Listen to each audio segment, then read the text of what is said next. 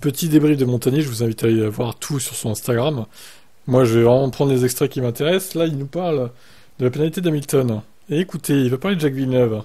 Ouais, c'est un peu. euh, il fallait vraiment pour moi faire un vrai changement. Aujourd'hui, c'est ce qui s'est fait. Je suis content pour eux. Sans la pénalité sur Lewis, il était troisième au championnat. Ouais, bah, c'est pas. Ok. Oui, bah, et c'est quoi? Si, euh, si Perez et Verstappen avaient cassé aujourd'hui, il serait aussi troisième au championnat. Enfin, peut-être pas. tu m'as compris. Euh, la, pénalité est tombée, la pénalité est tombée, c'est comme ça. Moi, je suis contre, mais, euh, mais Villeneuve est pour, par exemple. Villeneuve nous a envoyé un petit message pour qu'il n'était pas du tout d'accord avec moi Loïc. Euh, mais bon, c'est comme ça. Les gens Villeneuve est pour la pénalité d'Hamilton. Ah ben ça alors, c'est étonnant. Pourtant, moi qui croyais que Jacques Villeneuve aimait beaucoup Lewis Hamilton et qui n'était pas du tout pour Max Verstappen, je suis très étonné par cette révélation. Vous voyez, même quand il est pas là, Jacques, il, reste toxique avec Lewis. C'est incroyable ce mec. J'en peux plus quoi.